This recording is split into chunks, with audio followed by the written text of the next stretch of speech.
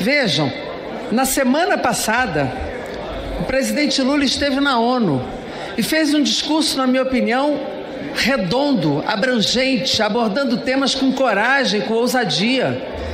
O presidente Lula abordou claramente a questão da desigualdade como eixo do seu discurso naquela Assembleia da ONU. E, ao mesmo tempo, expressou a desigualdade em todas as dimensões na expressão racial, na expressão de gênero, de orientação sexual, mas centralmente a desigualdade de classe. Porque é isso que nós temos que saber juntar, essas várias desigualdades numa luta comum.